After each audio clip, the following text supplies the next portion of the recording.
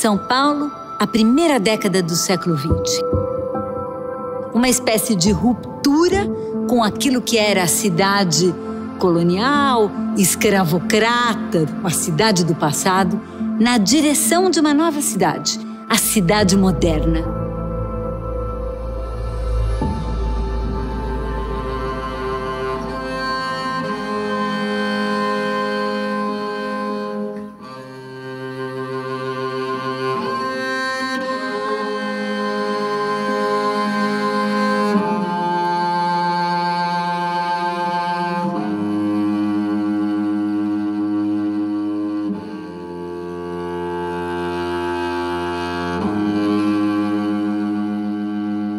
Construção do Teatro Municipal não foi de forma nenhuma um fato isolado.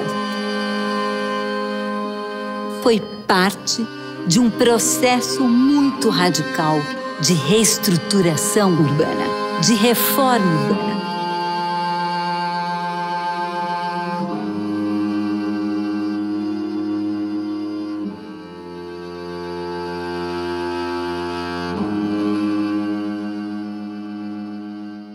Entre 1900, 1910, 11, a cidade vai viver uma verdadeira revolução. E o Teatro Municipal foi um elemento muito central num processo, na verdade, de reestruturação urbana. Essa vontade, inclusive, de se ter uma casa de ópera na cidade, adveio dessa economia cafeeira, do progresso. A obra do teatro durou oito anos. Começou em 1903, foi até 1911. Foi escolhido Ramos de Azevedo, engenheiro arquiteto, uma vez que ele já havia desenvolvido outros projetos de porte na cidade de São Paulo, que juntamente com Cláudio e Domiciano Ross desenvolveram então um projeto para o novo teatro da cidade.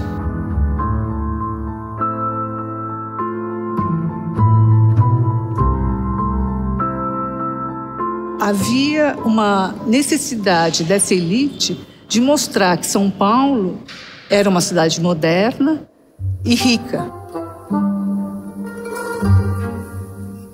E aqui a arquitetura foi pensada para isso, para reunir essa alta sociedade que fica tão contente de estar junto dela mesma, num grupo eh, homogêneo que traz as pessoas mais importantes e mais ricas e que ao mesmo tempo se vê em reflexo no espelho.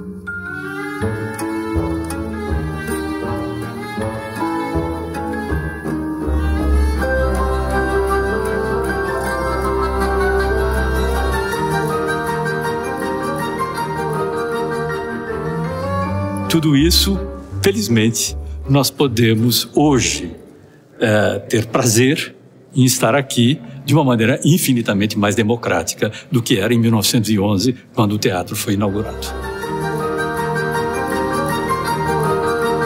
A referência urbanística daquele momento era a referência de Paris, os boulevares da reforma do Barão de Haussmann.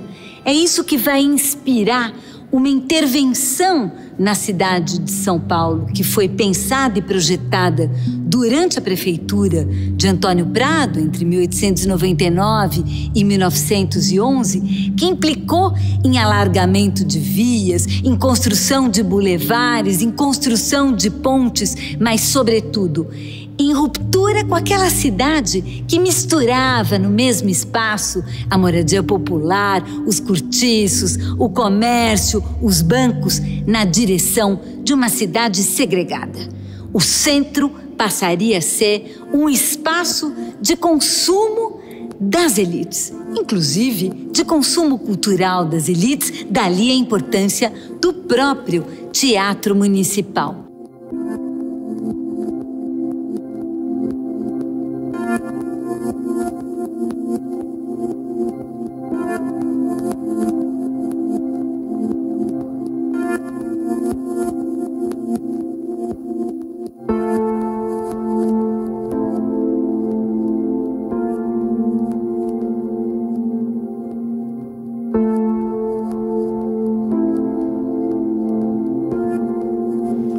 Teatro Municipal é um teatro de ópera. É um teatro que permite a montagem do espetáculo mais complexo que existe.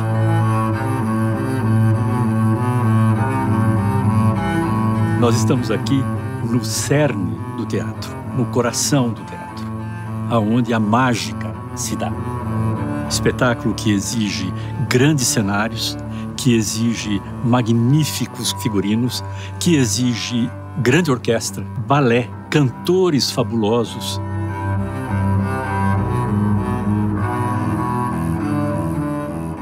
E nós temos aqui essa plateia dentro de um espaço em forma de ferradura. Essa ferradura dá uma impressão aconchegante, ela abriga. E o espetáculo se dá nesse grande palco que tem uma moldura magnífica, como se fosse um quadro, como se fosse uma pintura. É um teatro que é chamado A Italiana. Quer dizer que ele é um teatro feito em andares. Quando eu estou lá em cima, as vozes e a orquestra se misturam de uma maneira límpida. É algo de absolutamente fabuloso.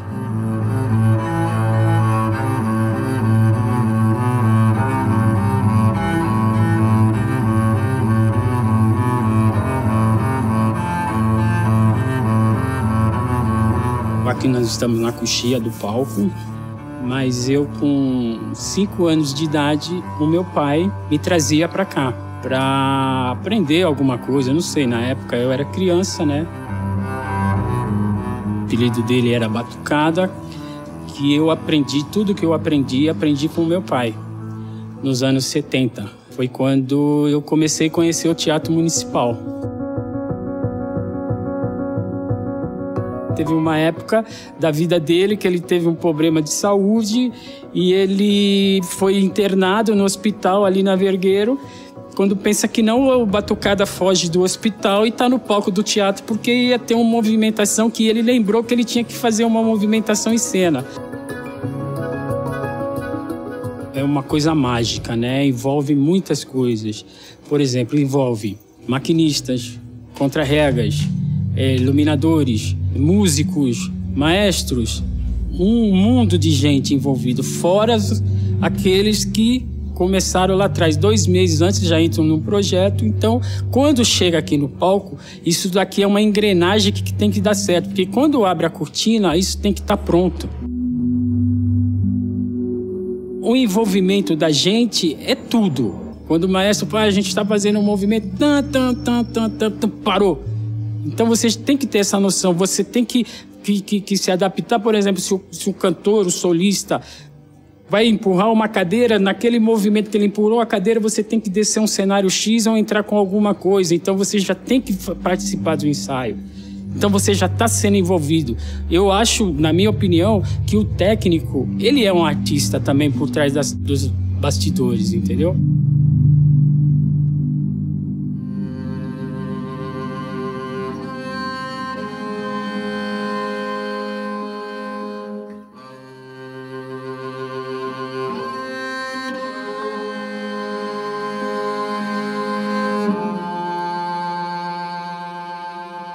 O projeto foi baseado na Ópera de Paris, que é um projeto do arquiteto Charles Garnier.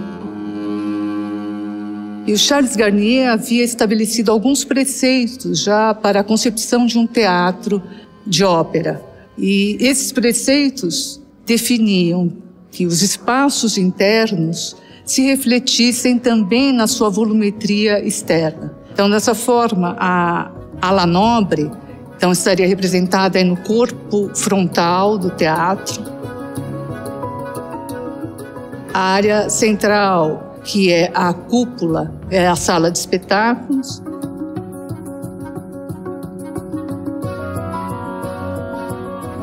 E a caixa cênica, pelo telhado de duas águas, corresponde à área do palco e à área de camarins.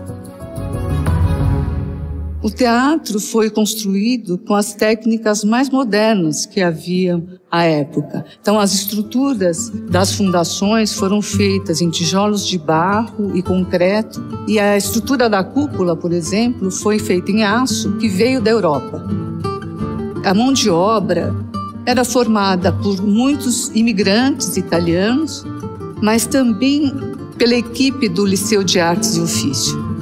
Então, a equipe do Liceu trabalhou e desenvolveu uma série de mobiliários, por exemplo, que nós temos até hoje no teatro. São as poltronas, por exemplo, da sala de espetáculos, ou as portas aqui de Jacarandá do Salão Nobre.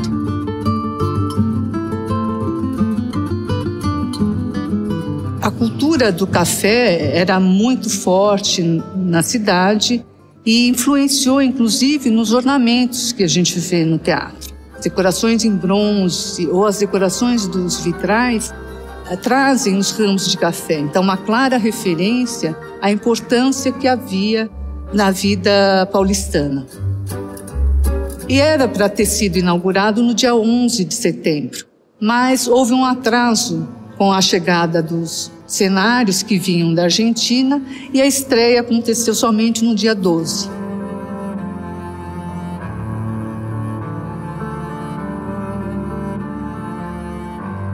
Foi o primeiro grande engarrafamento de São Paulo. Tanto das pessoas, aí da elite que veio para prestigiar e assistir o primeiro espetáculo do, do novo teatro, quanto de uma multidão que veio encantada pela nova construção e pela iluminação elétrica. Então foram instalados esses postes, nós temos ainda hoje no viaduto do chá, aqui no, na frente do teatro. E foi uma iluminação que chamou muito a atenção, porque era uma novidade belíssima que estava sendo inaugurada também.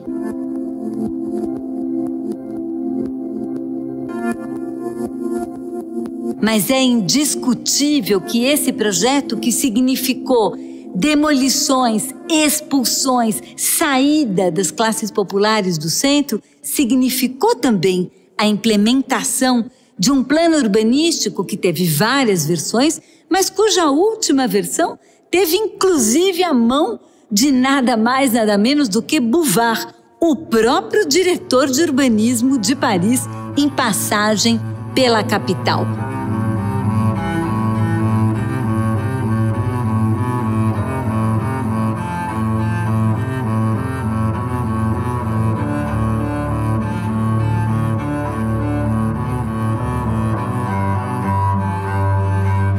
Proscênio é a parte mais avançada do palco, aquela que fica mais perto do público. Nós temos um palco enorme aqui atrás, onde as situações vão ocorrer, e aqui é quando existe essa relação direta entre o cantor e o público. E abaixo do proscênio existe uma coisa que se chama o fosso da orquestra.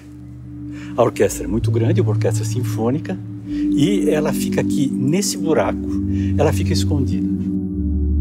No subsolo, que ficam as fundações do teatro, ficaram abrigados também os equipamentos cenotécnicos, né? então os equipamentos de palco, e também o sistema de ventilação e de exaustão. Então, o Teatro Municipal tinha um sistema de ventilação que foi considerado muito moderno à época, formado por uma série de túneis que ficam embaixo da plateia, que são encarregados aí de conduzir o ar frio até a sala de espetáculos e trazer o ar quente que sai por túneis que levam até a Praça Ramos de Azevedo.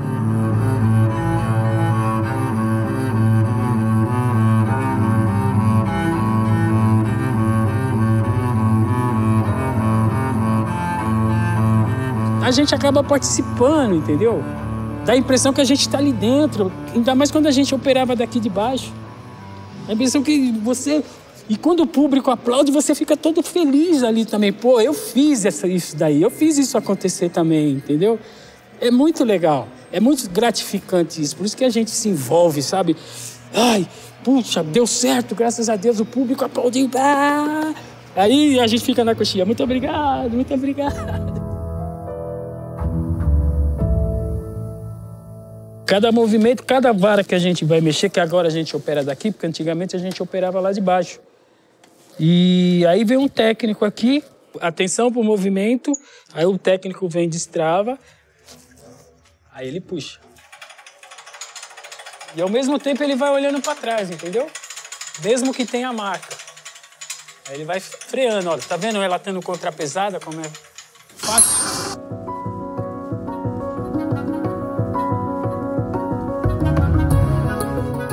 O Teatro Municipal, que foi inaugurado em 1911, ele foi concebido segundo um princípio de pompa e de luxo do século XIX.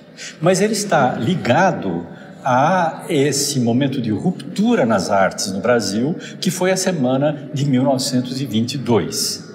O Brecheret, que fez essa escultura da Diana, era um desses escultores modernistas.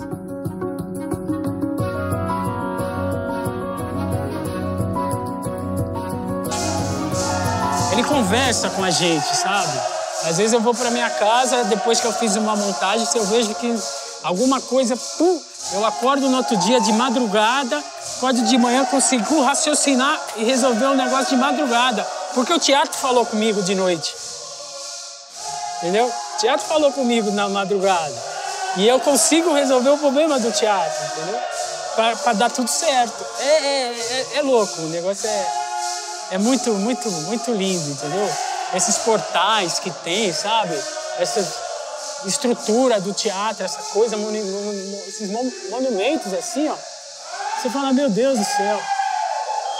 Que mundo lindo, né? Que mundo, que mundo maravilhoso, que mundo gratificante essa casa, né? Essa casa sem explicação, não tem palavras, né? Não tem, não tenho palavras.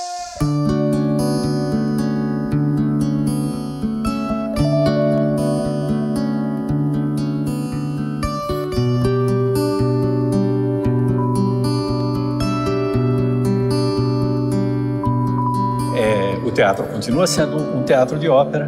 Existem óperas contemporâneas que foram feitas, inclusive muitas depois de 1922, mas ele está vinculado a esse momento de abalo e de desafio da introdução de uma arte moderna aqui em São Paulo.